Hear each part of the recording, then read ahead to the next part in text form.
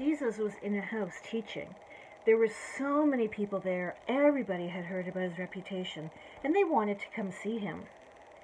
Some people also heard about his reputation, but they were not so happy with Jesus. What are you doing? they asked. You know you should not talk in the name of God. Are you evil incarnate? That means living evil. And Jesus said, That is ridiculous. If I'm casting out evil, how can I be evil? I can't cast out myself. Come on. Divided evil is not going to stay. Just like a divided house can't last, and a divided family can't last, and a divided kingdom can't last.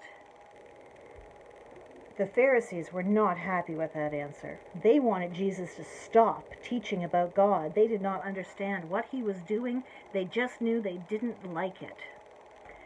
Jesus tried to explain to them again look, if you're going to rob a house, you have to first tie up the guy protecting the house, right? You can't just rob a house. So if I'm going to try to get into some place, I have to make sure all the bad stuff is taken care of first. Do you understand that better? The Pharisees did not. They just wanted him to stop. The Pharisees were not the only ones that wanted him to stop. Jesus' family also didn't understand. They were just outside the house, calling to him, saying, Come out, please. They didn't understand what Jesus was doing either, but they were scared that someone was going to do something bad to Jesus. They just wanted him to be safe. They wanted him to come home with them.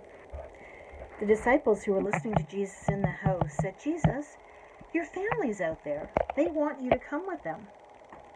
Jesus looked at them all and said, Who are my family? You are my family. You are my mothers and my brothers and my sisters. We're building a new family here in the name of God.